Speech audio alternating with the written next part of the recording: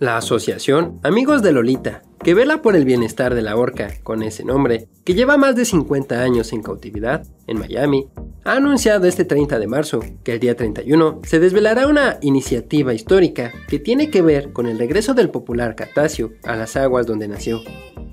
El anuncio será hecho en una rueda de prensa a la que asistirá la alcaldesa de Miami-Dade, Daniela Levine Cava, representante de The Dolphin Company, empresa concesionaria del Miami Sea Aquarium, de Amigos de Lolita y el filántropo Jim Mersey.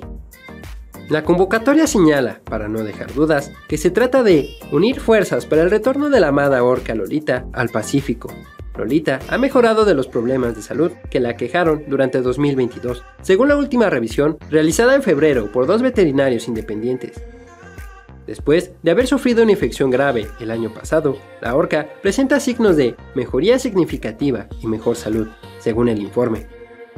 De acuerdo con los datos facilitados por activistas de defensa de los derechos de los animales, Lolita, que fue vendida en 1970 al Miami Seaquarium por cerca de 20 mil dólares, está confinada en una piscina de unos 18 metros de longitud y una profundidad máxima de 6,1 metros.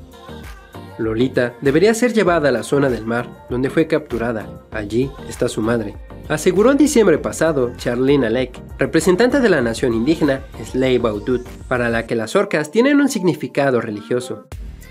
Desde el 24 de septiembre de 1970, Lolita permanece en el Miami Seaquarium, que fue abierto en 1955 en una isla de la bahía Vizcaína y fue el escenario de la famosa serie televisiva Flipper, si te gustó el video, no olvides darle like y suscribirte a nuestro canal para seguir informado.